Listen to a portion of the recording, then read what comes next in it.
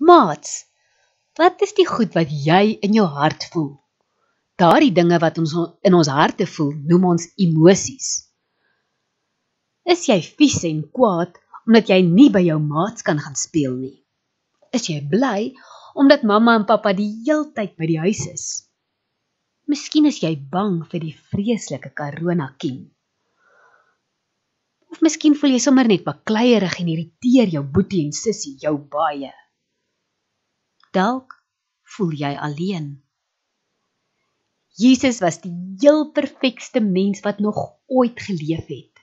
Dit beteken hy het nooit enige foute gemaak nie. Hy het alles reg gedoen. En selfs hy het allerlei gevoelens gehad. Vandag weet ons dit want hy het sy naby vriende vertel hoe hy voel en hy het dit ook vir God gesê.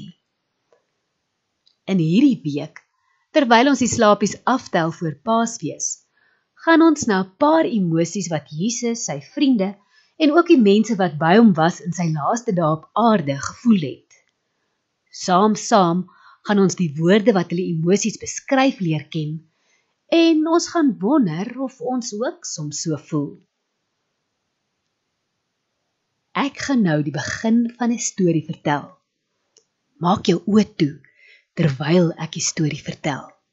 En terwyl jy na die storie luister, vra jouself die volgende vraag: Hoe laat hierdie storie jou voel? Dis nag. Krieke kriek. Kriek kriek. Kriek kriek. Die wind waai. Hoe, hoe.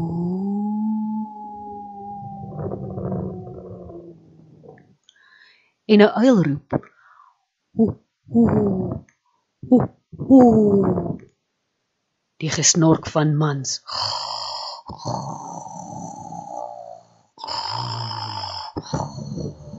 is hoorbaar. Iemand fluister iets. Maar ons kan nie hoor wat hy sê nie. Voetstappe kom al hoe nader. Die voetstappe stop. Al wat mens nou hoor is die naggeluide.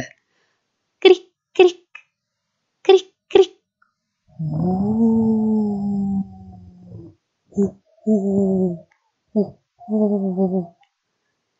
Skielik is daar 'n harde stem wat sê: "Daar is hy."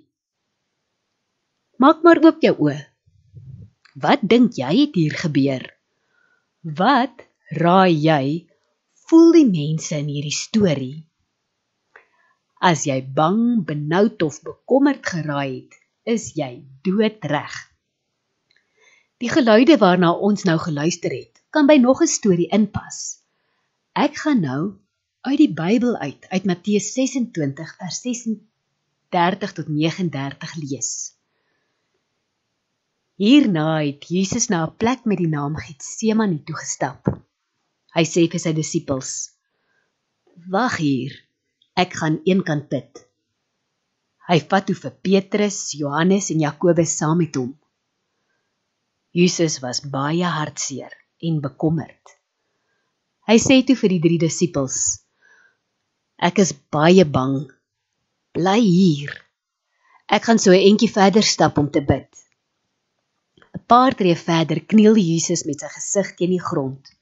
Toe sê hy: "My Vader, is daar nie 'n ander manier hoe ek die mense kan help om die kinders te word nie?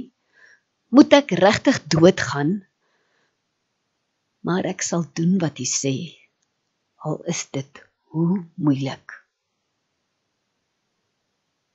Hoe het Jesus gevoel? Die Bybel sê Jesus was benoud. Om benoud te wees is om baie bang te wees. Was jy al so bang? Wat het Jesus gedoen toe hy so bang was?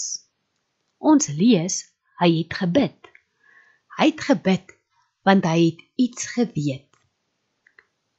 God gee vir ons 'n wonderlike belofte in die Psalms vir wanneer ons so bang of benoud voel.